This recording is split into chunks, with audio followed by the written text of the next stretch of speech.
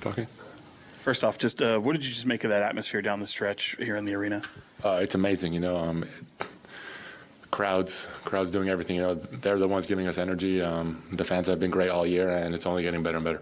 And then just for you guys tonight to conclude three and three after some clunkiness on this home stand, what does it mean to just be able to finish this 500 on the right note? Uh, it's big. You know, um, we feel like uh, we let those two games um, down in uh, those two first ones um, at home. Um, we, sh- we, sh- we should have been a lot better, but um, we finished uh, winning two two really tough games. I have to ask you, you know, about you know closing out these type of games. You know, of course, you know you was fantastic, remarkable, but I have to ask you, how important was it to close out a game like that at home?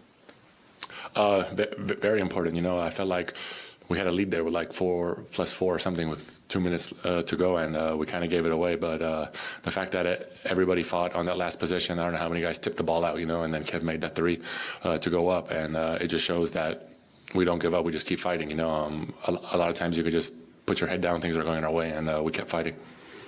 Domas, Jordy shared after Wednesday's game that you take it upon yourself a lot to push the tempo and, and to try and make sure the team is running. Why specifically do you take that role on as the big? Um, well, I pretty much taking it out of bounds or I'm rebounding it. So uh, I, I got to do that. You know, um, it's our style of play. It's something coach wants us uh, to be top top in the league. You know, and um, if I can do a better job of pushing the guys home to run, taking it out quicker, or bringing it up myself, um, uh, it definitely helps us. Uh, we're a really good team uh, on the run, and uh, the more we do that, it's it's it's really tough to stop us. Domas, it's it's pretty hard to fathom. Like you're playing with a fractured thumb and you're shooting perfect from the field. Uh, do you note notice? Yeah, 12 for 12. Yeah, not bad, man. Free throw. Missed a free throw. Yeah. do you do you notice it? Like when, when you've been out there, I mean, it doesn't look like you're paying any attention to the fact that, that the thumb's fractured at all. I definitely noticed it when Kev high fived me um, on my right hand when he when he was mad. Uh, so he owes me one. But uh, you know, I'm trying to give it a go. trying to just play through it. You know, um, it's ups and downs. You know, try not to think about it. It's great. The crowd brings the adrenaline in, so I just don't feel it. What do you make of, of Kevin's night overall? And, and also, can you take us through the, the sequence with the two offensive rebounds at the tip out to him, that, or the ball tip getting tipped out, going to him for the for the three there? Um, amazing. You know, um, he's been putting in work every day. You know, he hasn't been shooting it as well lately, but uh, we trust him. We ha- we give him the green light to take any three he wants. You know, and uh, today he was making right decisions. Uh, defending, rebounding, he did a bit of everything, you know. So um, when he's like that, we have so many more options. So um, I feel like this is his normal form. So he's back. Domas, we saw you on the floor coaching your teammates at certain points and getting on teammates at certain points. How much are you embracing that leadership role here in Sacramento? Um, I just feel like the guys respect me. You know, they they they, they listen. You know, I just want to get the guys going. You know, most of the time it's for it's for a bucket for them or you know to get them going. You know, um, if everybody keeps their head up and everyone's motivated, you know, uh, we can go a long way. You know, um, it's a long season and everyone has to stay focused.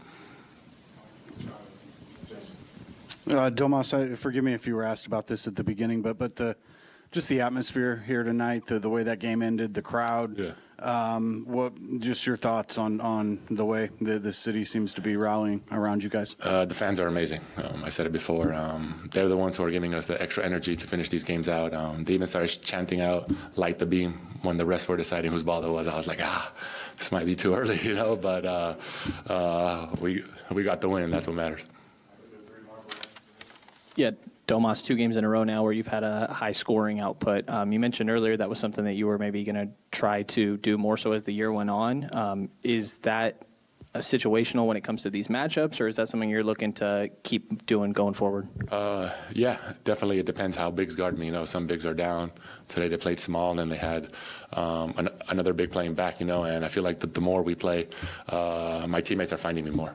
You know, um, Fox, Kev, Malik, HB, everyone. You know, the, they're putting the ball easy for me, and I just got to finish. You know, so the more the more games we play, um, I feel like our, our chemistry is, is building, and they know they have a, a pl- plan B option to give it to me, and I can finish.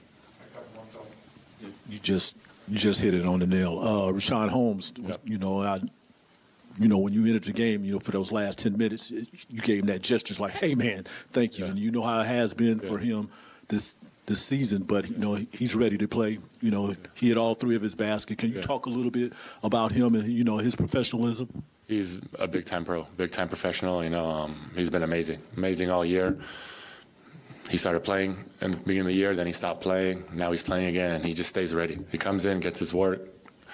He's always shooting, always working on his floater, on his threes, on his free throws. You know, getting conditioning in. You know, so it's it's really big. It's really big for him to stay ready. I always told him, you know, I'm going to get in foul trouble, and uh, or anything happens. You know, um, if you have these minutes, take advantage. You know, he's a really good player in this league. You know, and uh, he shows it every time he has opportunity. I, I think uh, outside of Kelly Olynyk, you might have had the best look of that Fox dunk. Just what did you make of that that dunk? And uh, is that where's that one ranking? I don't even I don't even know how he, he he got that in. I thought he was gonna lay it up or it was a foul, and he just dunked it with two hands and hanged on. You know, it was. I mean, the whole arena saw it. It was amazing. It was a fourth straight game for Fox with at least 10 points in, in the fourth quarter. Just how have you seen him evolve uh, in, in that situation? I feel like only fourth. I feel like he's been doing that all year. You know, uh, four straight. Uh, I feel like, uh, you know, at the end of the game, I always tell him it's it's you, it's your show. You know, pick and roll. Want me in it? Don't want me in it? You know, I'm just gonna be there if you need help. But uh, that's what he does. He's been clutch for us all year, making the right decisions, making tough shots. In a game like this, point to point, you know, um, he's kind of unstoppable. Like he said, he he can get any shot he wants. You know, and I feel like uh, he's he's he, he's been making the the right read every time. Thank you guys.